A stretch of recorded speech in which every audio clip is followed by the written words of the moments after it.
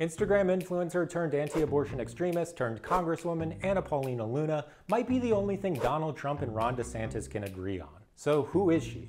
After growing up on welfare with a father who was in and out of jail, Luna joined the Air Force to fund her education. Now, there are various points of contention surrounding Luna's past. An expose in the Washington Post claims Luna may have fabricated much of her childhood, George Santos style. A family member of Luna's told the Post, quote, she had everything, what she needed and more. According to WAPO, two former friends told the outlet that when Luna served as an airfield operation manager, she wore designer clothes and spoke about having nannies as a kid.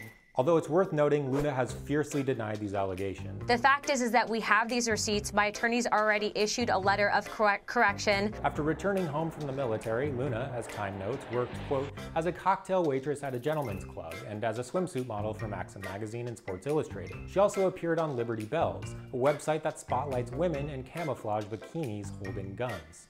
It's unclear where the conservatives, who attacked AOC for working as a bartender, stand on Luna's cocktail waitressing. I have a feeling they don't mind, given Luna has more followers across all social media platforms than any other rising GOP star. Like Time Mag points out, unlike MTG and AOC, who have parlayed their status in government into a giant social media following, Luna's path was the opposite. She gained a following on social media first, catching the attention of Turning Point USA founder and a man totally fine with indoctrinating the youth so long as it's through a far-right lens, Charlie Kirk. Kirk loved what Luna was spitting out, so he hired her to be Turning Point USA's Director of Hispanic Engagement, which is where she really took off. I remember my turning point, no pun intended. While her jokes didn't land, endorsements from Donald Trump and Ron DeSantis did, following her announcement to run for a US House seat. Luna currently represents Florida's 13th congressional district in the US House, which is where she's attempted to make life miserable for one man, the Democratic representative from California, Adam Schiff.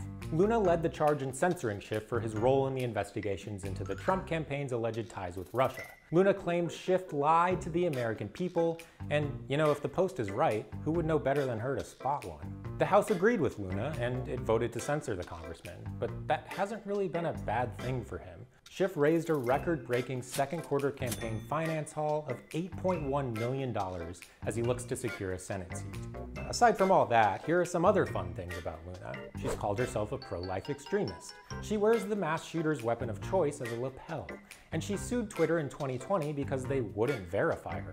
At the time, she wasn't working in government. Of course, she's verified now that Twitter gives you the great opportunity to pay a billionaire $8 a month. Luna will be up for re-election next year as she looks to lead a right-wing revolution.